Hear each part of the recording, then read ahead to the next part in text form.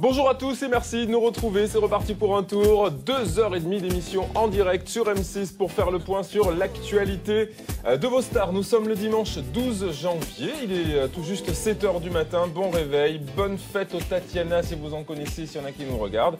Bonjour ma chère Claire, comment ça va? Bonjour David, bah, en pleine forme ce matin. Hein. Bon, un peu dur à se lever quand même, j'avoue, mais euh, toujours ravi de, vous retrouver tous les dimanches. Bon, vous vous êtes réveillés, vous êtes avec nous, peut-être que bah, vous allez peut-être travailler, vous êtes peut-être euh, des leftos et c'est tant mieux. Des stars, vous en voulez? Il y en a un ce matin. Nous avons rencontré entre autres pour vous euh, Bruno Mars, Roth, nous parlerons également du dernier album de M, Birdie, un séducteur également, Danny Briand, et puis il y en a un autre qui repart sur les routes de France avec un très beau projet, c'est Michel Fugain.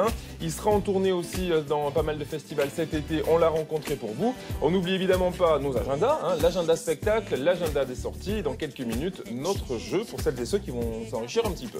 Et côté news, aujourd'hui, eh bien, on vous donnera des nouvelles du prince William qui va retourner à la fac, et oui, de la chanteuse Carly Rae Jepsen qui va se glisser elle dans la peau de Cendrillon. Et on vous dira eh bien, quel sera l'artiste prestigieux qui va collaborer avec les Daft Punk. Tout ceci dans quelques instants juste après le sommaire en image bien sûr.